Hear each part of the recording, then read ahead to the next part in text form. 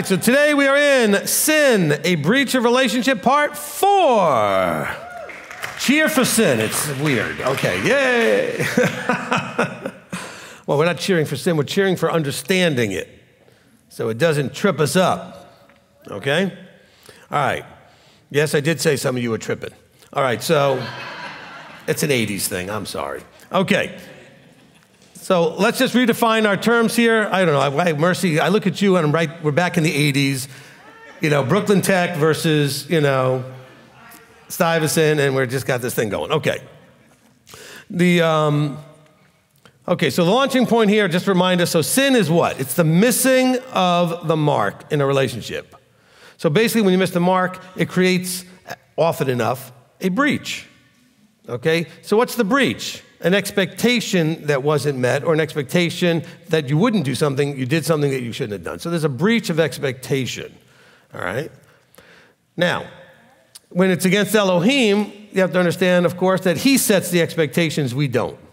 But he also tells us what we can expect from him, and he tells us what we, what he expects from us. And so that's where the normal definition of sin would come in. The standard one is doing something that falls short of or breaches relationship with our Creator. Of course, we could do the same thing with everybody, okay? If you have a relationship, it doesn't matter husband, wife, parent and child, employer and employee, friends, coworkers, anything. If you have a relationship with some, you know, certain expectations, those expectations can get stepped on, trespassed, or breached, and it will damage the relationship. Okay? It will cause damage to the relationship. Now, let's go ahead and now look at, we're going to bring Yeshua into this, and we're going to start in Matthew chapter 1. One person said, Yay. Okay, so Matthew chapter 1, we're going to begin in verse 18. Okay? Well, actually, let's begin in 21 and then we'll go back to 18 for context. Okay, it says, And she shall give birth to a son, and you shall call his name Yeshua, for he shall save his people from their sins. Ah. Now, and the word save there, I think, is better translated deliver. Okay, deliver from their sins. Because deliver out of the bondage of sin, deliver out of the penalty of sin. It's more of a deliverance. And the idea of salvation really trips people up. It confuses them because it seems like that's a reward of some sort. It, it, it, like somehow salvation equals eternal life and all this other stuff. Now, without it, you can't have eternal life. But just understand, go listen to the Are You Saved teaching. It'll be clear as mud. Okay, now, so that being said, let's look at 18. The birth of Yeshua Messiah was as follows. After his mother Miriam was engaged to Joseph, before they came together, so they'd not been intimate yet, she was found to be pregnant from the set apart spirit. And Joseph, her husband, being righteous and not wanting to make a show of her, had in mind to put her away secretly. But while he thought about this, see, a messenger of, of Yahweh appeared to him in a dream, saying, Joseph, son of David, do not be afraid to take Miriam as your wife, for that which is in her was brought forth from the Holy Spirit, from the set apart Spirit, the Ruach HaKodesh. And she shall give birth to a son, and you shall call his name Yeshua, for he shall deliver his people from their sins. All right, now that being said, actually, we'll, we'll continue from there in a minute. Let's go back. So here's Miriam. She is found to be pregnant they had not been intimate yet. So then there's this thing called putting away that's being considered by Joseph in verse 19. You need to listen to the teaching called divorce, remarriage, and putting away to understand the difference between divorcing and putting away. It's very, very, very important. It may set you free from a lot of bondage and torture because you thought that you were doing something that would be in sin when you weren't. Okay? So let's understand that. Now, that being said, he being righteous. I'm thinking righteous is not just doing everything by the letter, but it's the fullness of the Spirit, of the fruit of the Spirit. He wanted to be kind and loving and gentle, etc. He did not want to do what putting away normally would do. Putting away was like putting a scarlet letter on them. Okay, they were marked publicly, not physically marked, but they were marked, called out publicly as having done something like getting pregnant when you're engaged and married, right? Getting pregnant and it's not your husband. And so this would have been a very public thing to do, warning everybody you don't want to do this yourself because you'll get publicly shamed. Also, letting everybody know this woman is no longer marriageable. That's the punishment. The husband would then be free to do whatever he wanted, to go ahead and marry again. Not whatever he wanted, but you know, to go ahead and marry him. But the, the wife was now publicly a leper, basically. Okay, she was just not. Now, he did not want to do this to Miriam. Okay? He did not want to put her to shame. He also knew he couldn't marry her. So he didn't know what to do. So he was put in this very challenging position. And so then the messenger comes and tells him, No, no, no, no, this is fine. She didn't cheat on you. She didn't go ahead and commit adultery. She didn't do any of those things. And so he says, You could go ahead and you can marry her. And now it says in verse, so then it says in verse 21, and you're going to call his name Yeshua, which in Hebrew literally means deliverance or salvation. You're going to give him that name because he's going to deliver his people from their breach of relationship. Okay? See, read this correctly. And we're going to get into some, to some of the verses that are also in the Discover Your Identity teaching to show you how this makes so much more sense. Because we think about he's going to give them you know, he's going to save them from their sins, meaning somehow he's just going to wipe them out or something, et cetera, et cetera. It's so much more than that. He's going to deliver you out of the body of sin. He's going to deliver you out of the, the, uh, the path that was serving sin. He's going to either serve sin or you're going to serve the Father and to righteousness. You're not going to, you can't serve nobody. You're serving one or the other, right? Now, he's also going to deliver you from the penalty. Because sin, we, as we know it, the penalty of sin is what? Death. Okay, the fruit of sin, the reaping and sowing of sin is death. So now, you come get to verse 22. And this all came to be in order to fill what was spoken by Yahweh through the prophet, saying, What prophet? Isaiah, correctly. Okay, correctly stated. All right, so in Isaiah it says, See, a maiden shall conceive and shall give birth to a son. And the reason it says maiden there instead of virgin there, because it's not that she wasn't, it's just that the Hebrew for virgin might have been a different word more frequently, but certainly this was a young woman that would not have had that relationship, okay? It's just the word that he chose. But she's going to conceive and give birth to a son, and you're going to call his name Emmanuel, which is translated means El with us. Okay, wait a minute. He just told them to call him Yeshua. Isaiah said you're going to call him Emmanuel. Do we have a problem here? No. Well, why not? Well, first of all, Isaiah was being told this, I believe it's in chapter 7, because there was going to be a birth, and it was actually his wife giving birth to a son who was named Emmanuel. And you read that in chapter 8. Okay, because everything that was happening was type and shadow. So that prophecy that Isaiah was giving was absolutely not about this, it absolutely was about this, if you understand what I'm saying.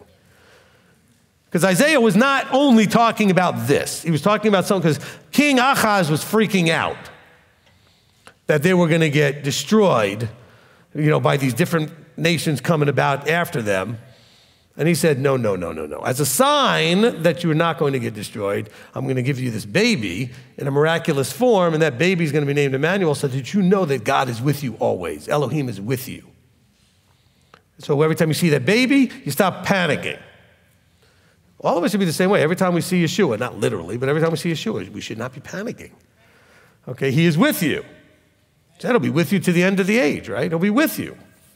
Now, so when we understand the role here is to deliver the people from their sins, and sin is a breach of relationship. So when the prophecy was that he will be called Emmanuel or El is with us, well, that's not possible because what do we know that sin does? It separates us from Him, right? It separates you from your Creator. So, this is the path to restoration of the breach. Ooh, that's cool. Yeshua is the restoration path. Not, he doesn't just restore it, he's the path to restoration. He makes it possible to make restoration. Go listen to the teaching forgiveness, restoration, recon, uh, reconciliation. They're not three this, parts of the same thing. Okay? They're three different things. The forgiveness part is necessary for the other two, but if you forgive, you're not required to do the other two. They may not even be possible. Father always forgives you. To be reconciled, you need the path. To be restored in the breach, you need the path. Yeshua says, I am the path. He says, I am the way, the truth, and the life. I'm the path. All right, now, and that is to remind us that through him, El is with you now. You were separated, So, yes, we refer to him as El is with us. But not so much the way Christianity always taught it. Actually, not so much the way I always taught it, where he, being El, was with us in the flesh. While that's still true, I think it's also, he's there to show us that El is with us. El is with us because the breach can be bridged. That's, it could, it could be a restoring of the breach, which is a phrase that, or a concept that Abba loves to use throughout scriptures the idea of finding those that would restore the breach. Of course, in the prophets, he says he looked for someone to do that and couldn't find anybody, which is pretty disturbing. Now, so we have that going on here. So, Yeshua will save his people from the penalty of breaching relationship by missing the mark of Yahweh's expectations through covenant. Right? We have a breach because we didn't meet the expectations through covenant, Exodus 19. You agree to do everything I say. They said yes. That's where the breach came when they didn't do everything he said. His people were and still are suffering the consequences of this relationship breach. Now, by the way, I wanted, I'm not, okay, I said this last night, I want to say it again here on the stream as part of this teaching. This ministry is different. I know you're shocked. This ministry is different. And what I mean by that is my position to you is a little bit different. I'm not just a talking head or administrator putting a congregation together. Okay? We're part of a body.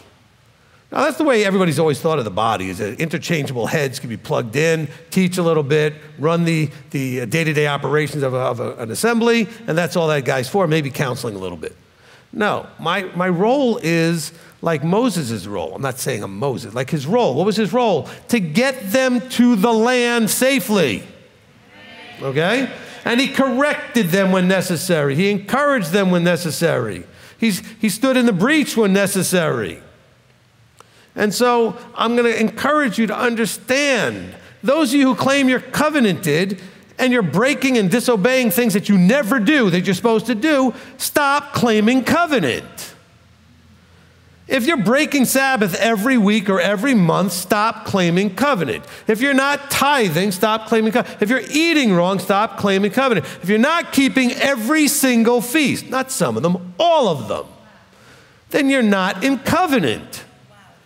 Anything breaks covenant, any one of those things, right? You don't need to break a whole bunch of them to claim, well, I'm in covenant, kind of, sort of, whatever. No, you're either in or you're out. Okay? So just stop that. Well, don't you tell me I'm not in covenant. I'm telling you, you're not in covenant if you meet those criteria. So stop playing at this or trying to justify doing it your way. Because that's, look, you know, none of you are Frank Sinatra. You're not singing my way, okay? Because you're going to say I did it my way, and Yahweh's going to say, and you can do that over there, and the line is going in the fire. Amen. The line starts right over there. You can have a, have a seat. Okay? You don't get to do this your way. You got to do it His way. Yeshua says you got to seek that which is well pleasing in the sight. Well, actually, one of the apostles said about Yeshua seek what's well pleasing sight of the master. Okay, I think Paul said that. And so let's understand. And actually, Yeshua said things very similarly. He's restoring a breach. Okay, so don't think this is again that Christianity little thing that, you know, if you haven't removed every little tendril of that mindset, it will metastasize like a cancer, and you'll be thinking that way all over again. Uh, we know a whole bunch of people not too far down the road doing exactly that okay, sounding more and more Christian every day, behaving more and more Christian every day. I'm not against Christians. The system they're in has lied to them. The system, they think they're doing everything right, as you did when you were there. But now that you're here, that, fills, that fits into the metaphor of going back to your vomit. Rabbi, how dare you accuse them of being vomit? Is what it is. Okay? because that's not going to get you where you want to go. It's going to keep you always in sin.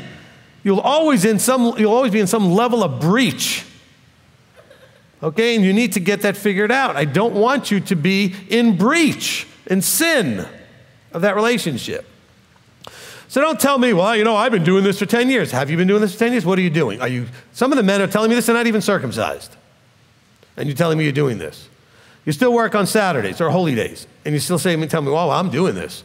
You still haven't figured out this, that, or the other thing and gotten it right.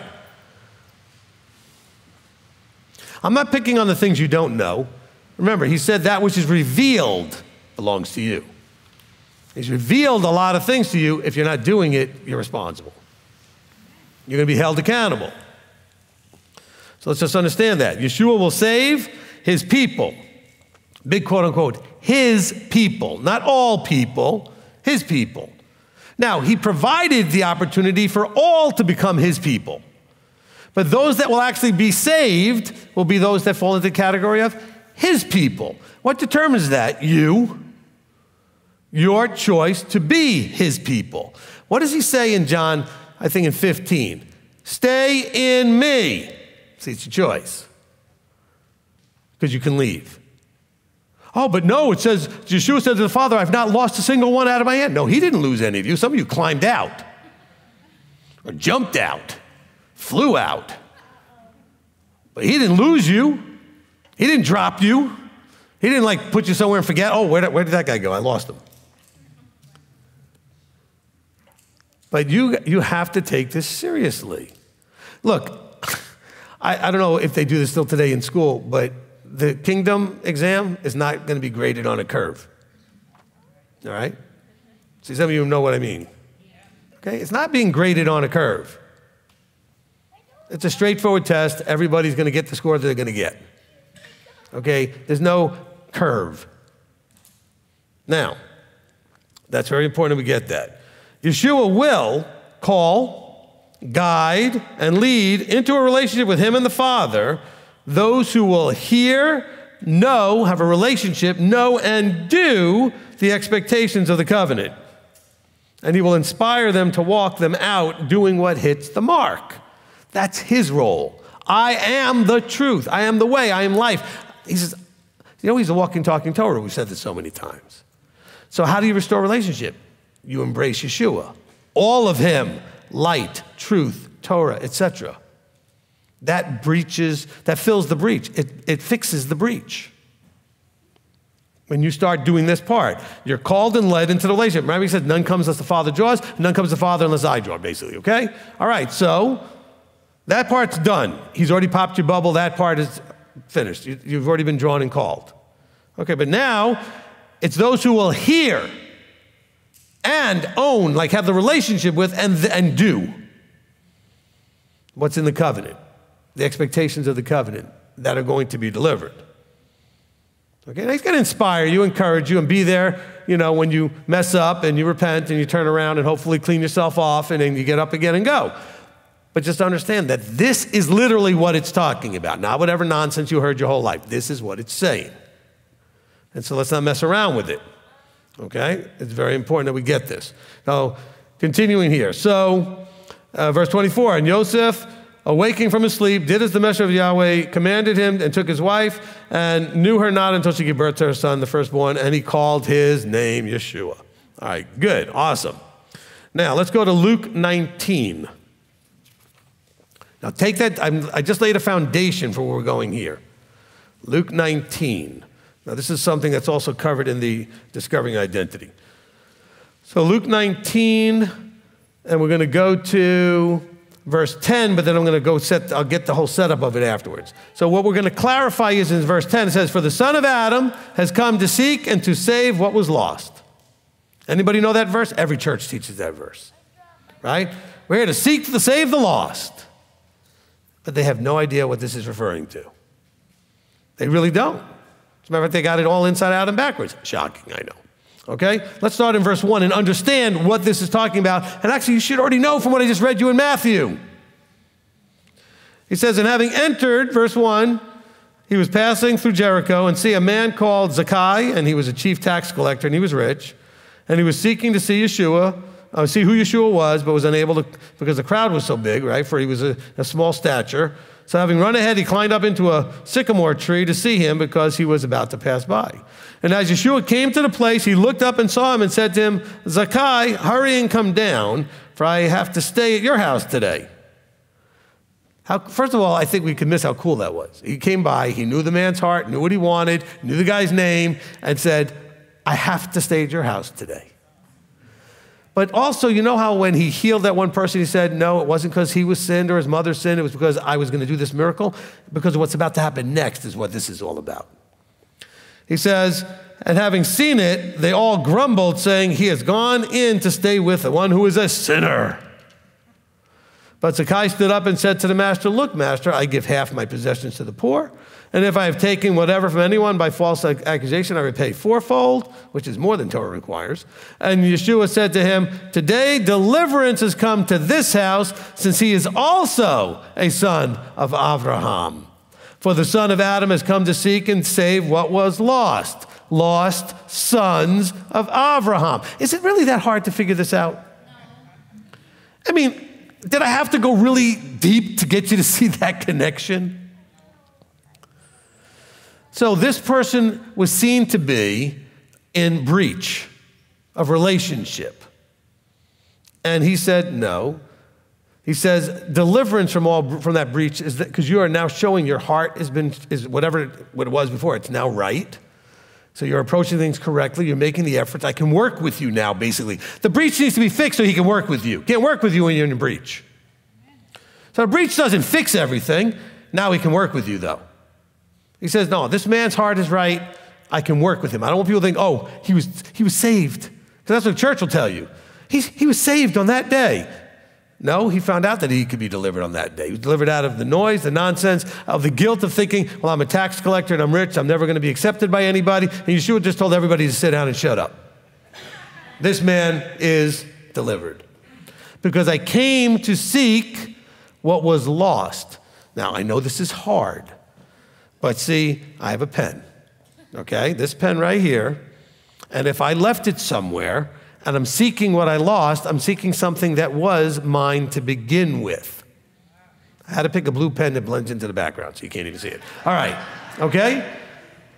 So Yeshua didn't see that church wants to define the lost as anybody not Christian. Right? Is that do I have the definition wrong? Okay, that's it, right? No. Yeshua was talking about anybody of Israel or even children of Abraham. He says, they are who I'm seeking because I lost them or they jumped out of my hand, so to speak. Okay? That's why I gave that analogy first. I'm here to seek them. Okay? And so it's not just going to, it's like I once was lost, but now I'm found, like this pen, right? So lost and found. So, but it, you have to have had it to begin with. Okay, you can't lose something that was never yours and you never had it. Man, I don't know what I did with my Jaguar. Well, I never had one. No, I'm sure I lost it. I, I, am sure. okay, so keep that in mind. It's also in the Discovering Your Identity teaching. But Yeshua says this, that, and by the way, we're going to read another verse that says this is the reason he's here. He's here to do this, right? He said, I have come, the Son of Adam has come to seek and save what was lost. This is critical that we get this. So, those that were in covenant or in relationship and then had a breach, which means they were sinners. Because remember, this guy was called a sinner. The crowd called him a sinner.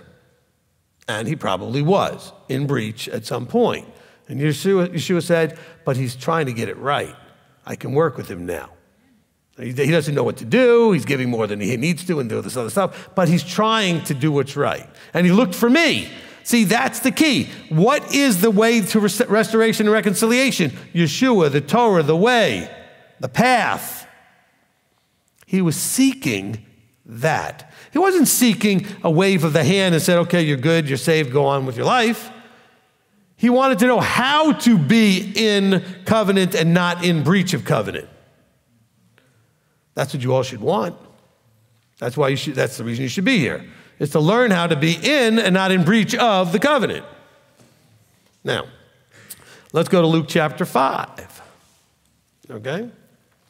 stay here in Luke. Chapter 5 and verse 29. Verse 29. We're dealing with a similar thing.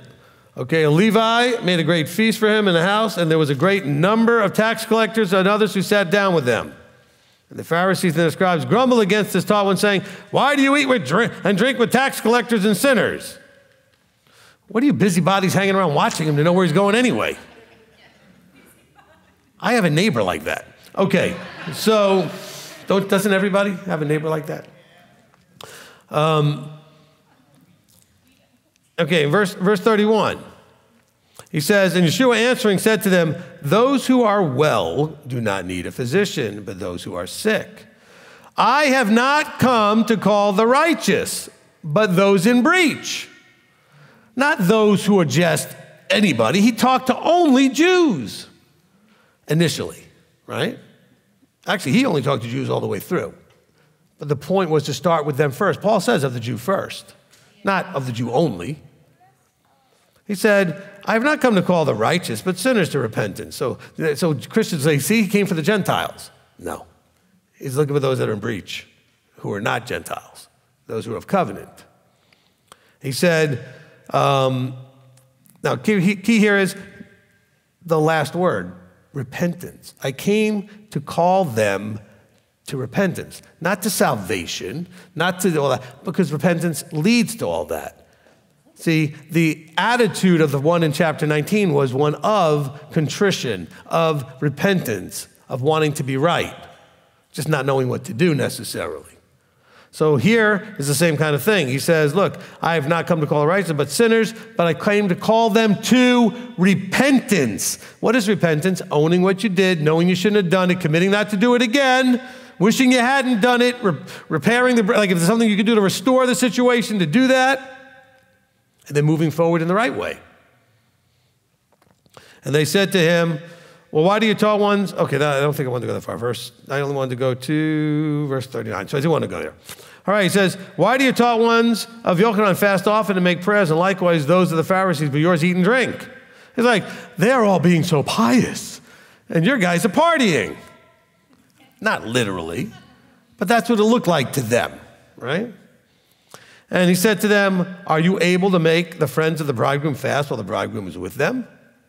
Why would you be fasting when it's, it's a time to rejoice? He said, But days shall come when the bridegroom is taken away from them, then they shall fast in those days. So she was talking about his death, burial, and resurrection. So he would not physically be with them. And he also spoke a parable to them, saying, No one puts a piece, of uh, a piece from a fresh garment on an old one, otherwise the fresh one makes a tear. And also, the piece that was taken out of the fresh one does not match the old one. See, notice what he did here? He ignored them. Because he's continuing, if you took that little piece out, with what he was originally saying. They interrupted the flow. He was trying to talk about that which was lost and, and the, the problem with understanding that there has to be repentance and a change. And they said, Hey, how come you guys partying the rest of you? He said, Okay, I'll answer your question, but you're interrupting. Shut up. what was that, five, six? Oh, that was okay. Um, but that's really, you notice he goes right back to it. Because this doesn't have anything to do with the bridegroom at this point. This has to do with what he was saying before. He says, Look, you can't take uh, and put a fresh piece of garment on an old one because the fresh one will make a tear, and also the piece that was taken out of the fresh one does not match the old. The piece of the new one doesn't match the old. The piece of, the, I'm not talking about New Testament old, I'm talking about, well, actually, Christianity teaches that way, it doesn't match the old which actually shows you why that can't be. He just said it in this parable. Probably never said that before, and you probably never heard that before. Think of it. But you, okay, as you come to become more and more Yeshua like, it won't match the old you. You can't put a patch on the old you. You need to bury the old you and be a new you, okay? He says, and no one puts new wine into old wineskins, otherwise the new wine shall burst the wineskins and run out, and the wineskins shall be ruined. Okay, because the new wine is much more effervescence, it's much more bubbly, there's a lot more stuff going on in there, right? Through the fermentation process and all that. So it's going to burst the skin. Well, guess what? What you're learning is very bubbly, and it's going to burst the skin if you're putting it in an old wineskin. And some of you explode and crash and go back to whatever because you just can't handle it. You can't handle it. You get all excited, you take in all of that good new wine, and then it, you're putting it in old wineskin. And so it doesn't go well. Okay, something's got to give. He says, Otherwise, the new wine shall burst the wineskins and run out, and the wineskins shall be ruined. He says, Now, but new wine is put in fresh wineskins, and both are preserved. Hmm. No one now, what, why is he saying all this? Part of it is because of what they said both times, the two things that the, the Pharisees and the scribes were saying. He said, You guys have to think differently. You have to change what you've understood. Well, this man's a sinner and we can't eat with him. No, you're missing the point.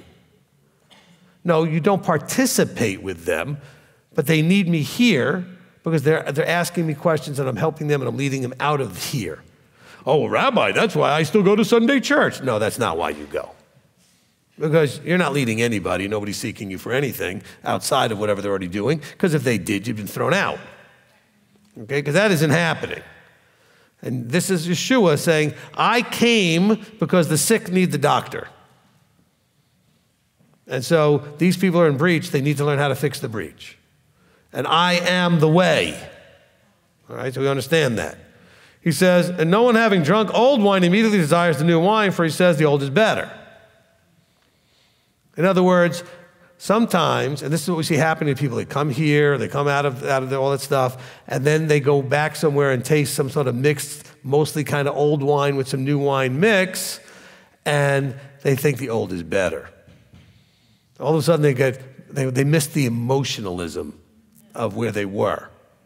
I mean, that's really more than anything else. They also miss this sort of I know for some people it was depressing and frustrating thinking that life depended on them like saving people. Like people would die if they didn't go out there and, you know. But there are others that feel like that's the only way they have meaning in life is that they're supposed to go out there and save people. None of that's scriptural. Yeshua said he came. Oh, but Rabbi, at the end of Matthew, he sends out the 12. Yes, to go and find those that were lost and let them know their, their return has begun but not to go out there and try to save anybody. They went to some towns and didn't get received by anybody. Okay? It was the whomsoever wills. They felt no pressure to save anybody. They felt no, you know, I'm sure they felt sad when people didn't receive them, but they didn't feel like guilty, like, oh my gosh, these people are all going to die now and burn in hell because of me. Because that's what you were taught. Of course, we all know and should know there is no burning hell like that for people who tortured in forever. There's a, there's a burning fire you're going to go in and be gone quick, and there's no coming back. That's also in John 15, by the way, where it says that those that do not stay in him are like the little stubble that goes in the fire and poof, it's gone. I think that's pretty clear too. I don't know why people miss that. All right. So, you, when you are working now on fixing your breach, of your relationship, of your covenant relationship. Recognize that some of your struggles are because you're trying to put new wine in an old wineskin. So, what does that look like in your life? You're still acting like the old you in too many ways. You have information that's new, that's the new wine. The old wine goes sounds like this Rabbi, I don't. See, that's the old wine. the new wine you have to drink, partake of. The old wine is complaining, whining. I was, No, I'm kidding. Well, it probably is some of that. I can't do this. It's too hard. All right. Don't do all of that. You struggle because the old you is still part of the mix. The old you, listen, I'm going to say this real clearly. He wanted you to bury the old person, the old you, for this reason. The old you cannot do this. I'm going to say that again. I don't think I've ever heard anybody say that. I mean, I'm sure they couldn't, but I'm just, I want to be straight, forward, right? I'm looking right at the camera for everybody. Okay? The old you cannot do this. Only the new you can do this. Because the old you is going to love the old wine. The old you wants to do the old thing. The old you does not want to do this. So that old you has to be buried. So you're trying to do kind of half and half, it doesn't work. You can't do it, it won't work. That old you cannot do this. Oh, it can play at it for a while, just like an old wineskin until it bursts. I mean, you could put the patch on your garment, but everybody's going to know it's a patch. Instead of you, you know what? When you read in Revelation, it said that the bride has made herself ready and she's, you know, clothed in is it a patchwork sort of garment? no. So you, you have to fix this. And you have to recognize that you cannot do this if you're still the old you. Any part of the old you is not only going to struggle with this, it's going to try to drag you back there because it's going to say the old wine is better. It's going to try to convince you the old wine is better. All right? And I can tell you, when you guys come in whining, new or old, we don't want to hear it. Because it's, it's just you not wanting to deal with whatever your reality is. If you haven't, if you have struggle, come with your struggle. Don't whine about it. Okay? I mean, look, I'm going to teach all of you how to be red, at least in one little way. Okay? When we did the color code thing and the personality thing, all right? Repeat after me. It is what it is. Again. It is. Embrace that, and life will get a lot better. Because if it is what it is, there's no reason to complain about it. Because it just is what it is. By the way, that doesn't mean it can't change. I'm not saying it is what it is. It is what it is, is what it is right now. Now, maybe it's changeable, maybe it's not. But you at least have to accept that for right now, this is the reality I'm in. So a lot of you wonder, why don't I get upset about this or why don't I worry about that? Because I accept as my mantra, it is what it is. Oh, but Rabbi, I'll lose my sister and brother over this. Well, it is what it is.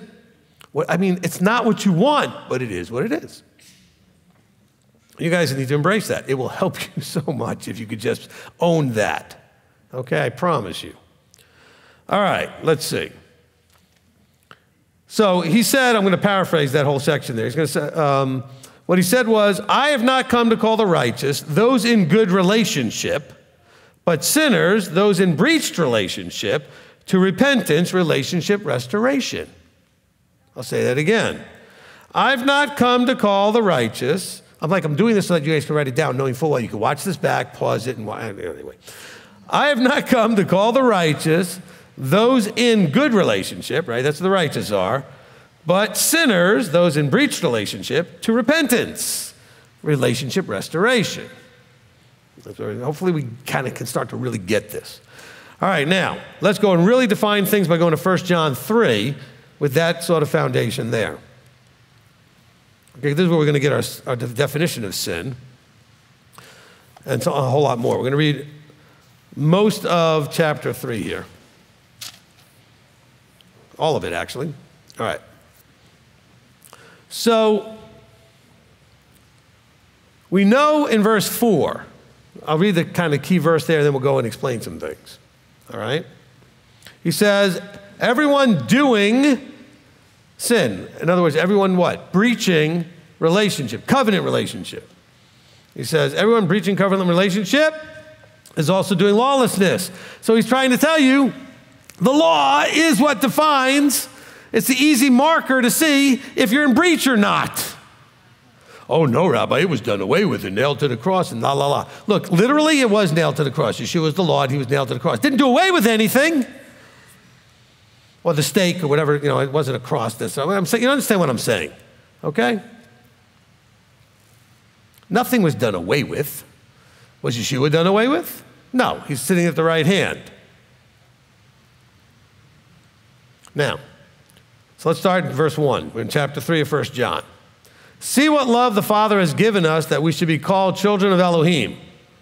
How, are we talking to people in breach or people that in relationship? In relationship. Okay. For this reason, the world does not know us, which means that the world doesn't understand us, doesn't have a relationship with us, because it didn't know Him. How can you know me because I walk like Him if you don't have a relationship with Him? Because you had a relationship with him, you would see him in what I'm doing, you'd understand what I'm doing. Okay? So bear in mind when this, I think this is a really, this is like group therapy right now, okay? Group counseling.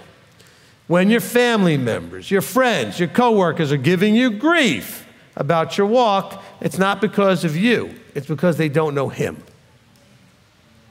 Okay? If they knew him, they would recognize you being him. That's the difference. That's the key. He says, For this reason, the world does not know us because it didn't know him. Beloved ones, now we are children of Elohim, and it has not yet been revealed what we shall be, but we know that when he is revealed, we shall be like, we shall be like him, for we shall see him as he is. Oh, by the way, when he says, See what love the Father has, beloved ones, John is so blue in a good way.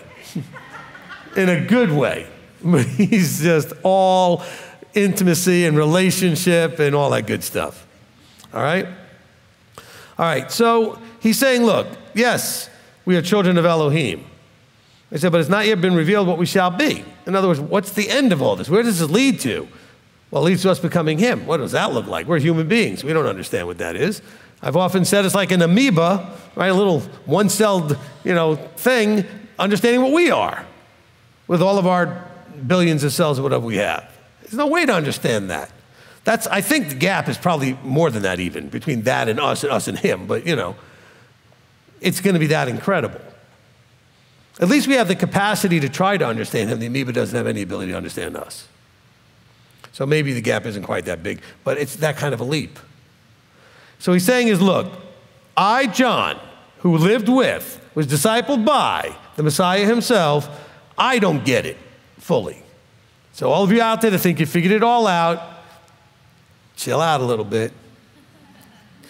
You know, easy now, because even if you, what are you, smarter than John? John lived with him, was trained personally. Okay? And he says, Look, it has not yet been revealed what we shall be, but we know that when he is revealed, we shall be like him. In other words, when he showed, when he revealed, meaning when he returns, we shall be like him, because that's the changing in the twinkling that we read about, okay, that Paul talks about. And so that, okay, that, he says, we shall be like him, and then we're going to see him as he is. That's when we can see him as he is, we're going to be like him. You know, if an amoeba all of a sudden became a human being, it would get it. It would like, oh, I get it. All right?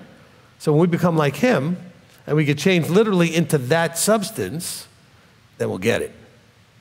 Well, listen now. He says, and everyone having this expectation in him has an altar call, just keeps walking it out, letting Yeshua do everything for you. Cleanses himself as he, Yeshua, is clean. Cleanses himself. So, what does cleansing mean? It means that you're going to clean up all the stuff you shouldn't be doing that breaches relationship. But it also says, as he. Okay, as he. What did he do? What made him clean? He kept everything, and he kept it perfectly. So we make the effort to be Yeshua like we need to make the effort to do covenant, Exodus 19, and obey and keep everything that he said. Period. Okay, everything. He says, everyone breaching relationship is doing lawlessness, verse 4. Everyone doing sin also does lawlessness because sin is lawlessness. Okay? The law tells you if you do this, it breaches my relationship with you. If you don't do this, it breaches my relationship with you. The do's and the don'ts, the positive and the negative commands.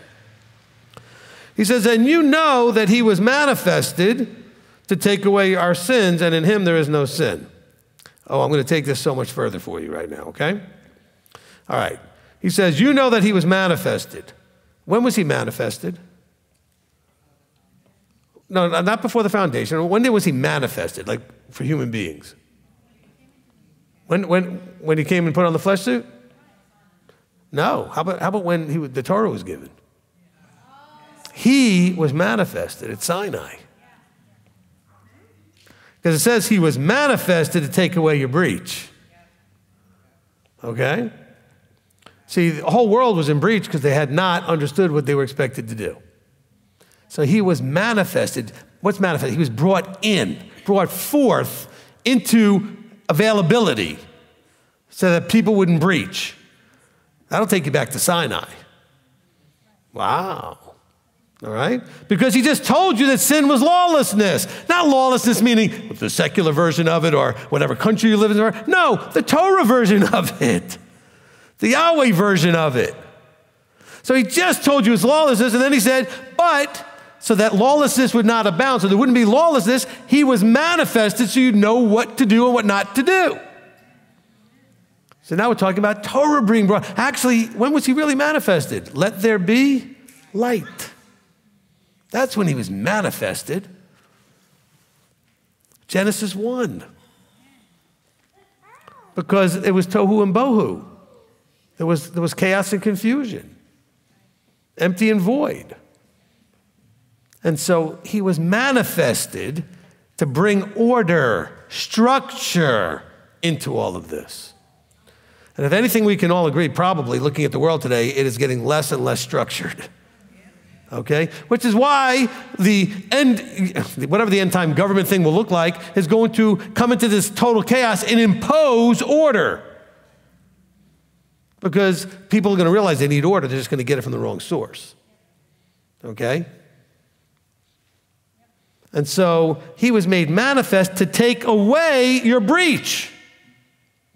See, people say to take away your sins, meaning to take away all the things you did. No, to give you the way not to keep doing it. So you know, oh my gosh, I had no idea that eating pork was going to be a, a breach of conscience. I didn't realize that Sunday wasn't the Sabbath. I didn't realize that there were holy days. I thought Christmas and Easter was good enough. I didn't know.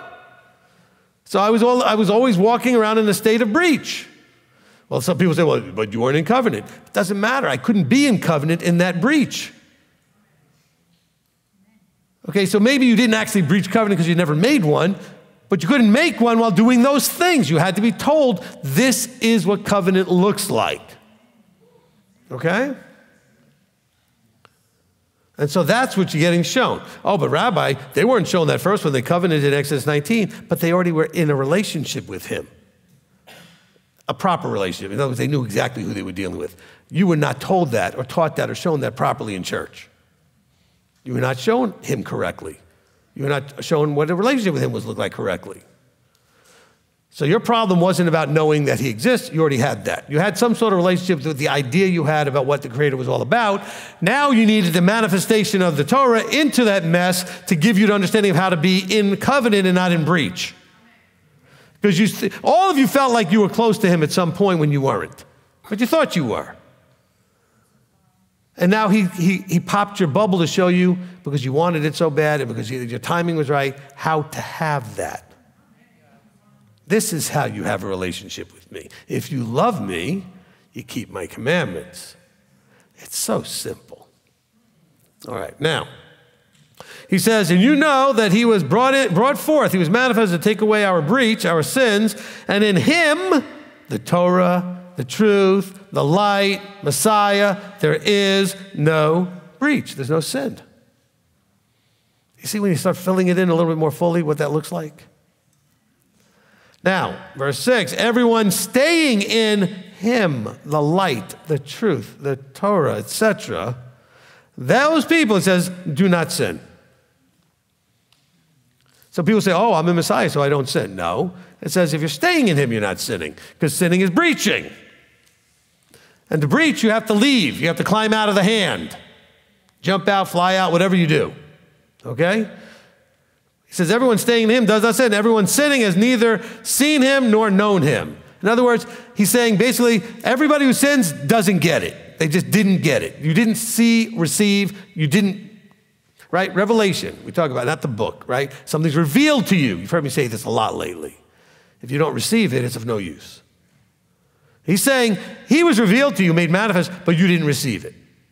He said, So you really didn't know Him because you really didn't see or receive. That's the metaphor he's using or the phrase he's using, but that's the point he's making.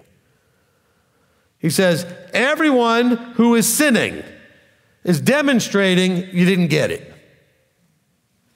And by the way, I have a bunch of people I know that have been through my teachings anyway and are out there back doing other things. They didn't get it, they didn't receive it. They heard it. They claimed they heard, they understood it, but they didn't. How do I know? Because of the walk. You see the fruit. He says, Little children, let no one lead you astray. The one doing Torah observance, doing righteousness. Well, Rabbi, why do you keep saying righteousness is Torah observance? Because that's literally what it means. It means doing what's right, according to Yahweh, not doing it right any which way you want. And the only thing in Scripture that tells you what that is is Torah. So you can't, you can't argue with me on that one. Well, you could try, it'd be pointless, okay? The, do, the one doing righteousness is righteous, even as he, the Torah, of course, if you do him, the Torah, the living light, the truth, because he's righteous. Even as he's righteous. So if you're doing what he is and what he did and what he does, then you would be what he is. Do as I do and you'll be what I am. That's basically what he said. He says, the one doing, doing sin is of the adversary. The one doing things that breach relationship is of the adversary. Because what's the adversary want you to do? Breach relationship. Starts in the garden. Did Yahweh really say? I think maybe you should breach. Go ahead and eat of that tree. He says, the one doing sin is of, and I'd rather say the adversary, because when you say, again, this is Christianese, the word devil is no good anymore. You can't even use it. I'm not telling you not to. It just, it evokes what it evokes, and you can't get away from it. All right? When he said to Peter, Get behind me, Hasatan, he wasn't literally saying that Peter is now possessed by the devil. He was acting in an adversarial way. Because Hasatan in Hebrew simply means the adversary. The adversary. Okay? So he says the one who is breaching, the one who's doing sin, is doing things of that mindset, that spirit of the adversary, is acting in enmity to me, as an enemy. He says, because the adversary has sinned, has breached. Don't we know that that's what happened? He was like this wonderful, beautiful thing, and then he breached. He, he went against the relationship expectations of the Creator. He said, he said, The adversary sinned from the beginning. For this purpose, the Son of Elohim was manifested to destroy the works of the adversary. Well, how did this happen? How did he, how was he manifested to destroy the works? Well, let's see. The world was just doing every stupid thing they wanted to do, and it brought a flood. Then they started doing it all over again. Now, Yahweh said, I'm not going to flood the world again. But at some point, you all ended up in slavery and all kinds of other dumb stuff is happening. And then I'm going to take you out of there and I'm going to hand you the law. I passed it down through word of mouth, trained a few people, let them train other people. Didn't seem to go over. I'm going to take a whole bunch of you as you grew into a giant nation, and I'm going to give you a whole thing in writing. So nobody can claim they didn't understand this, that. I'm going to give you the whole thing. And, all, and what's the purpose? to destroy any adversarial relationship. Because covenant says, everything you say to do, I'll do. You can't do that in an adversarial relationship. So again, this is, this is where they want to pit Messiah and the devil in like a cage match or something, okay? I mean, it, it's just not the picture we should have. The devil is, or the adversary is, a mindset that we are going to be of the me, not you. I want, I like, that's the adversary. Anytime you get into the me, me, me, you're an adversary to him. It should all be you, you, you. Okay? What do you want? How do you want this? And I'm not talking about the little, I'm saying is the things that Yahweh put in Torah.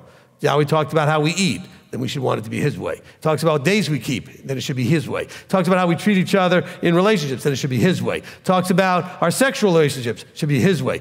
I'm not talking about what we're doing, but who we're doing it with. I'm, I'm serious, okay? I mean, all these things, it's got to be, if he covered it, then we should be doing it his way. Anything else is adversarial. Because it was that pride that brought Lucifer down, right? It was the pride which created an adversary relationship because there's not room enough for both of us right here, right? If my pride is all huge, there's no room for me and you. But if you're humble, there's room for him and you because it's all about him, not you. That's why he has to humble you first, Deuteronomy 8 2. He humbled them and then he tested them to see where their heart was at, whether it was there to keep the commands or not. We got to be humble. So let's be more clear again. I know your church didn't teach it this way. Oh, you know, the Messiah came up and he just beat the snot out of the devil and now we're all good. That's what it seems like, doesn't it? And by the way, you also feel guilty, the church says, because it's the fourth quarter, we're in the last two minutes, and we're losing. So get out there and save some people. I, the first, I, I'm, I'm being honest here. The first time I ever saw a televangelist, and that was kind of the stuff that was going on from that televangelist, is like 50 years ago, I really felt like this doesn't make any sense because I feel like they think God's losing. Seriously. And eh, I'm like, how is that possible? And he needs me or he's going to lose? That, yeah, someone just said he's screwed. Yeah. It's over. Okay? let me promise you something. He doesn't lose. Victory is his, right? Now, he's going to have a victory. You may or may not have one yourself, too. Because don't get caught up in a, yes, victory. No, don't claim something. I didn't say that was for you. You only choose that to be you if you covenant. And then you stay in him. And then you allow that to put the works of the adversary off. Okay, destroy that. That's where you need to be. Pay attention. All right? Look, I know some of you are, starting to realize that year after year, this is getting stronger and stronger. Simpler and simpler, which is funny how it can be simpler and stronger. But it's simpler and simpler. But that's what you got to pay attention to. This is the purpose why the Son of Elohim was made manifest in Genesis 1, okay? In Exodus 19, or actually earlier on in Exodus with the plagues, okay? At Sinai in Exodus 19, in John 1, when he put on flesh, he was manifested because only through him can we have a relationship properly. No one comes to the Father except through him. Period. Through what? Oh, well, because I just believe in him. No, through Torah observance. Through, uh, through embracing him as Messiah delivering you, redeeming you, really, more than even delivering, right? Delivering you out of sin. So he tells you, so, so here's his two aspects of what he does. He redeemed you because he died, he delivered you because he lives, because it's the Torah part, the teachings and instructions that deliver you out of the adversarial relationship. Because, I mean, after all, you breach relationship because of the adversarial thing. You want to do these things, and you shouldn't do them. Now, now, granted, a lot of it was stuff you didn't know you shouldn't do, up to a point. But once you know, now it's in your, now it's in your uh, ledger as to which way you go with that. It's either going to go as a yes or a no, right? A good or a bad. Okay, that's just now you're accountable. So there's an accounting because you're aware of it now. Okay, so this is the purpose he was made manifest to destroy the works, not to destroy the devil, by the way. He says to destroy the works of the devil. So, what are the works of the devil? Paul talks about this all over the place. I, I do what I don't want to do, what I want to do, I don't do, and all this other stuff. Okay? He understands when he talks about this law raging in his members, the law of sin and death is not Torah, it's what seems right to a man.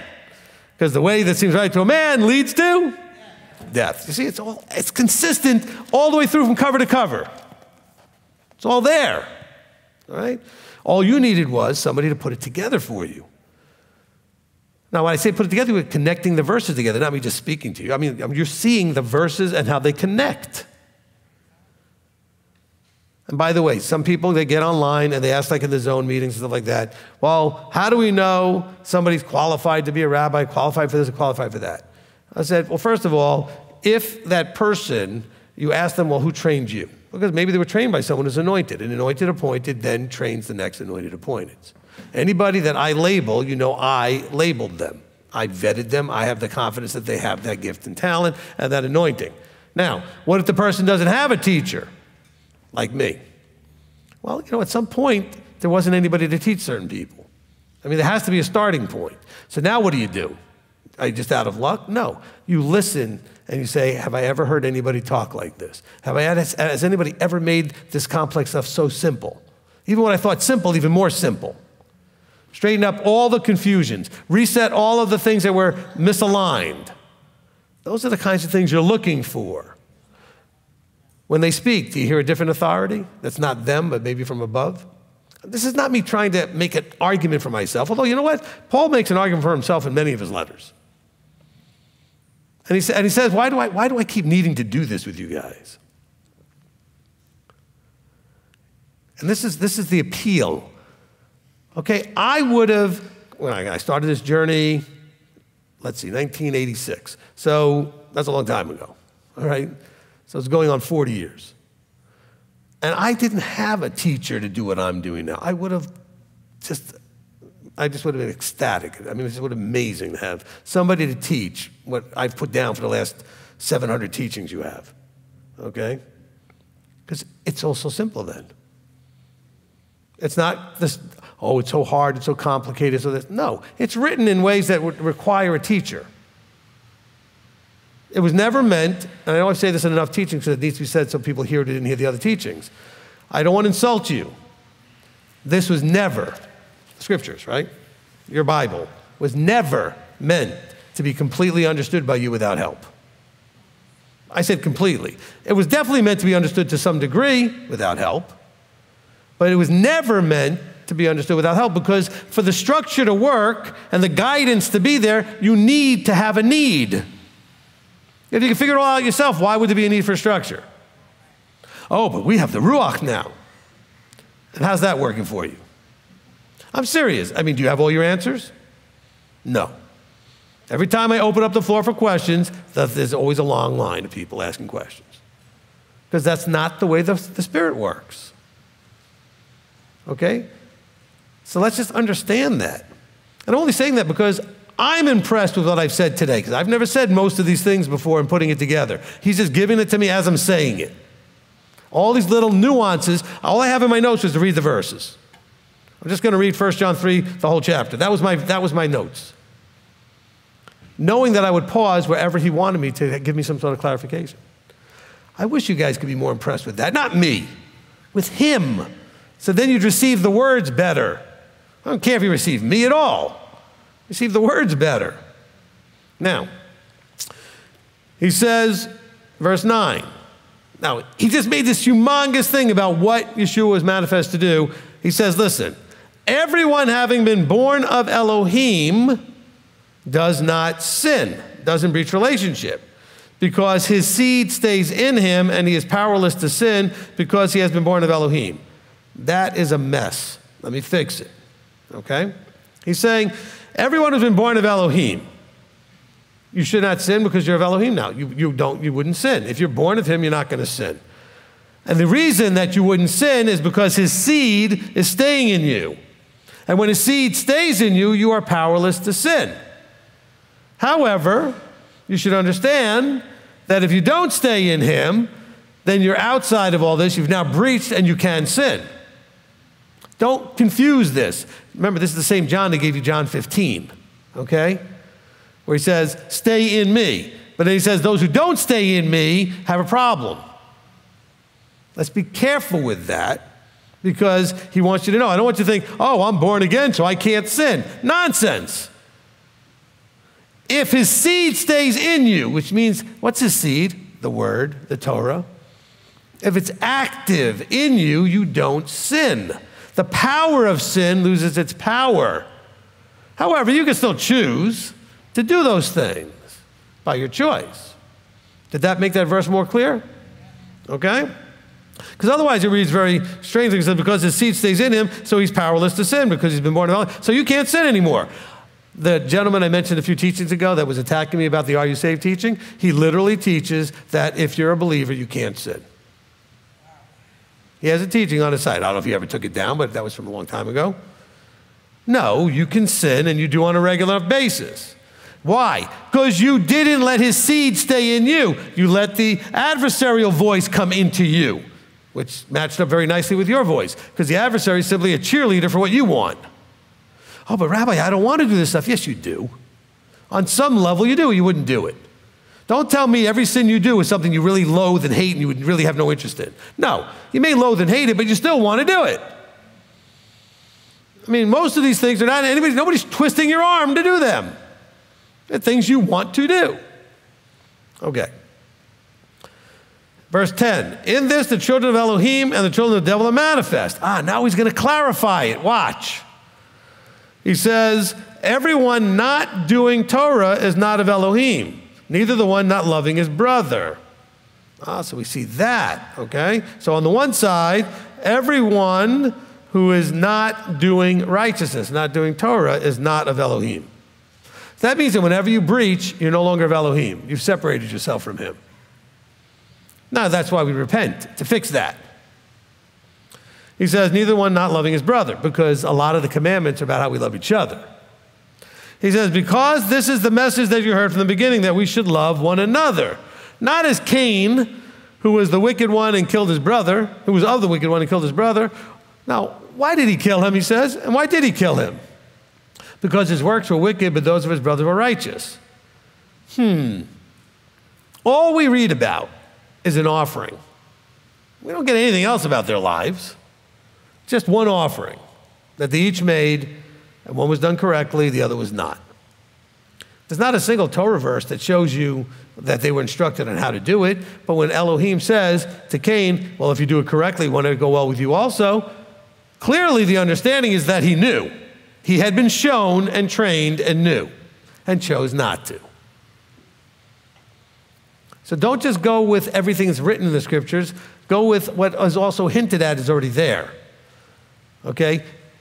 Elohim says, I am righteous, I am fair, okay, or I judge with fairness, there's equity, and all this type of stuff. So he's not going to be very unfair and get mad at Cain for something nobody ever taught him.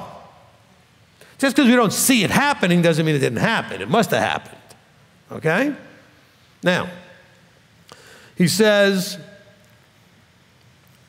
I forgot where I was at. Okay, here we go. He says, Do not marvel, my brothers, that the world hates you. All right? He says, We know that we have passed out of death into life because we love the brothers. The one not loving his brother stays in death. Okay, so what, what brings death? Sin or breach of covenant, right? Penalty of sin is death. So what he's saying is, we know that we've passed out of death into life because we love, according to Torah, the brothers. We love the brothers as instructed from above because that moves us out of death into life. Because death is breach, life is keep. Right? You keep the commandments, you do things in the right relationship, you love the you do two great commandments, you love Elohim with all your heart, mind, soul, being, etc., and you love your neighbor as yourself. But you do them the way Yahweh said to do it, not just any which way you want to do it. Okay? And that's how you move from death to life. It's the same, same thing over and over again. Let's continue. And he says, Everyone hating his brother is a murderer, and you know that no murderer has everlasting life staying in him. Okay, so there's an interesting little part of this phrase here. So he says, okay, everyone hating his brother is a murderer. In other words, you hate your brother, you really, basically, it's like you want him dead. And by the way, didn't Yeshua basically say, you know where it says don't commit murder and you hate your brother? Like that was one of the first things he taught on. Okay? That was one of the very first things he taught us. So John remembers that. So he's saying, look, hating your brother is like murder. Why? Because Yeshua told us that. So we know that. But look at this. He says, and you know that no murderer has everlasting life staying in him. You can lose everlasting life. In other words, everlasting life is at the end, it's a reward. So people think they have it. So he's saying you have a potential for it, but if you decide to go be a murderer, you lose that potential.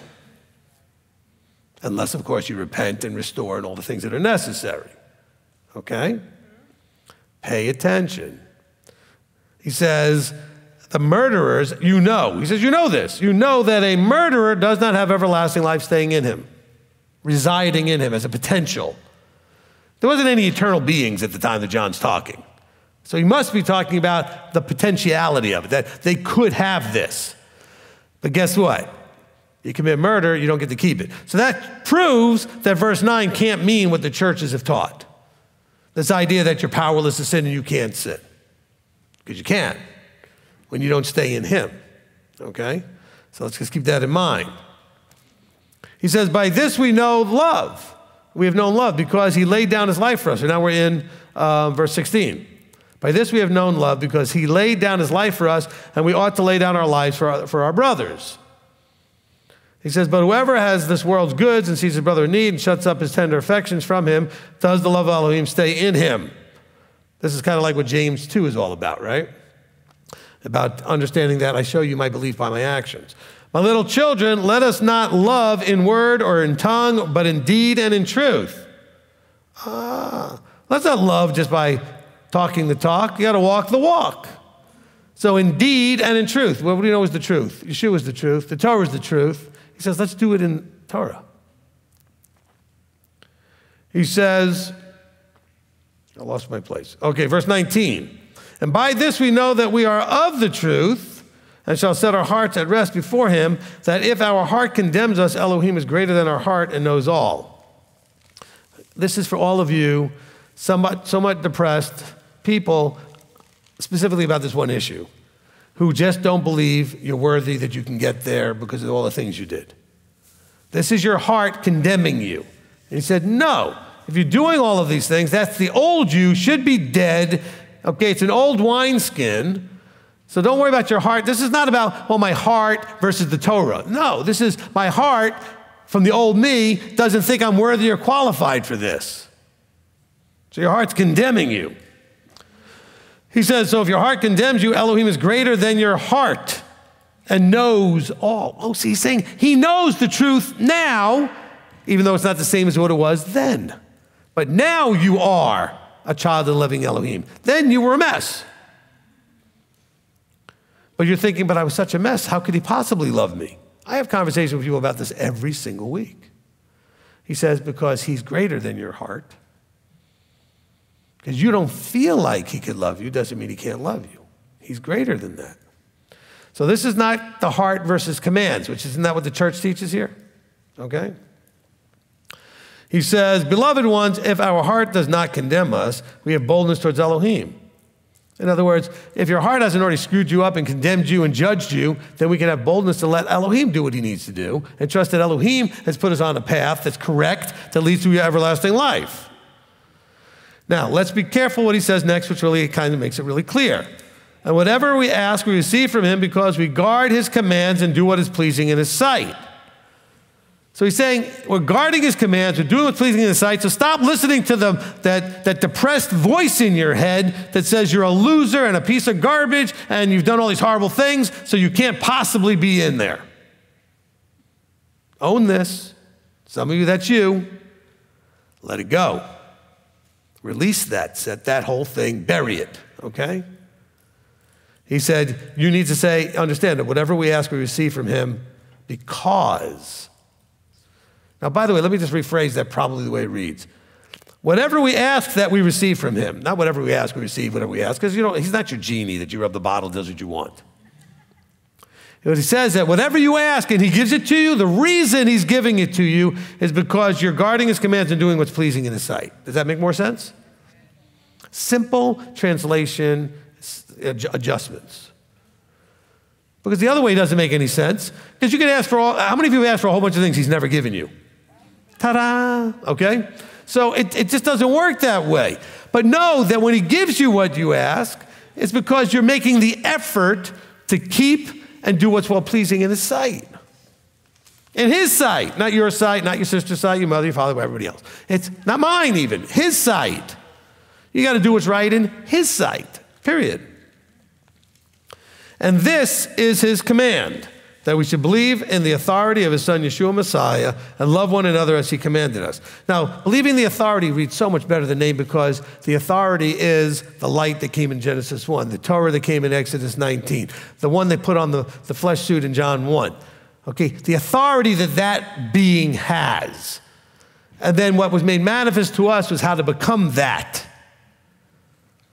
He said, This is the command that we should believe in that the Torah, the Messiah, the light, the truth, all of it. Believe in its power if you take and use and apply. Not the power to do it for you, to you, or whatever. But do, do you believe that He is the way? Yes, okay, then walk in that way. Do you believe that He's the truth? Good, then embrace that truth. That's the Torah. Do you believe that doing that will lead to life? Yes, because He is life. So if you embrace Him, Torah, truth, and the path, then yes, you will have life. But do you believe it? Some of you don't believe it because you, you, you're just still beating yourselves up. That's what this is all about. I'm sure John was talking to some bunch of people, just said, Oh, you have no idea what I've done in my life. Oh, you have no idea this. Oh, yeah. What do you mean? I've, the, the Creator knows everything you did, He even knows everything you will do. And by the way, not because He's like seeing into the future because time doesn't work the same when you're not in time. He's outside of time. So he's already seen you do it, you just haven't done it yet. But he's seen you do it, so he knows what you're going to do because you already done it. Oh, I didn't do it yet, right? Yeah, well, you have. We're just, we happen to go through time straight through. He doesn't. He could jump anywhere he wants in time and see what's going on because he can see how it all plays out. I know it doesn't make sense because we're amoebas, okay? All right. All right, so he says, and this is the command that we should we believe in the authority of his son, Messiah Yeshua, in your life, okay? And because you believe in that, you love one another as he gave us command. And the one guarding his commands stays in him. This is how you stay in him. And he in you, etc. And by this we know that he stays in us by the Ruach which he gave us. And the Ruach that he gave us should be that we are walking in the fruit of Galatians 5 and that we are being filled with his intrinsic nature. Okay? By the intrinsic nature. Are you becoming Yeshua like? Are you letting, as Paul said, this mind be in you? Philippians 2 5. All right? Are we becoming like him? That's the key here. All right? That's what we need to understand. Okay? Now, I'm hoping that's just, be, I mean, we're just getting started here, but let me just kind of see what else I wrote in my notes here. So, lawlessness from, lawlessness from the Greek is anomian, which means lawlessness, iniquity, disobedience. Verse 4, let's just go back to it again. Everyone doing sin also does lawlessness, and sin is lawlessness. I'm going to rephrase that. Everyone doing things, everyone doing things that are sin or missing the mark breaches the relationship with Elohim through disobedience to the law. Sin is disobedience to the law. Does that make much clearer now? Everyone doing things that are sin. In other words, they missed the mark, breached the relationship with Elohim as set forth in covenant through disobedience to the law, which is the basis of the covenant. Sin is disobedience of the law. Okay? The Torah instructs us in Yahweh's uh, as to what Yahweh's expectations are of his relationship with us. Okay? When we are disobedient to the Torah, we breach that relationship as expressed in Sinai. I'm hoping that you're starting to get this. Okay, I was looking forward to the sin teaching. Hopefully, you're also now understanding why I did some of the other ones first to show you how we have terms that are a little off. Okay, that we're just not getting the terms correctly. And I know it's hard to read these letters because the Ruach isn't going to do it for you. Well, that's not true. Ruach does it for you, but through my mouth. In this case, not like universally. You understand what I'm saying? That's the Ruach speaks through someone. Abba talks through somebody. That's the anointed appointed Paul's talking about. Okay, the prophets, the teachers, specifically those of the fivefold.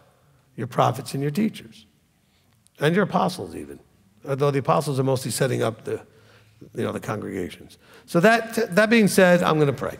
Father, we come before you. And Father, we, we really so much want to be doing what's pleasing in your sight. We really want to embrace and recognize and submit to and believe in the authority of the fullness that is your Son, Yeshua, that He is the light, that He is truth, that He is the Torah, that He is the way, that He is life. And that, Father, that we would stay in you, that we would stay in you and cling and cleave and hold fast so that we can actually have the everlasting life that you birthed in us when you called us. You made that possible for us and gave us an understanding that that possibility was now there. We also understand that we can breach relationship and not have that. So, Father, help us and encourage us to truly commit to have the discipline to stay in relationship and not breach that relationship. And that if we ever breach it, to as quickly as is possible to make the repentance move to restore, to restore the breach. So, Father, we want to thank you. We want to praise you, and we want to just appreciate you with everything we have and love you in the name above all names, Yeshua our Messiah.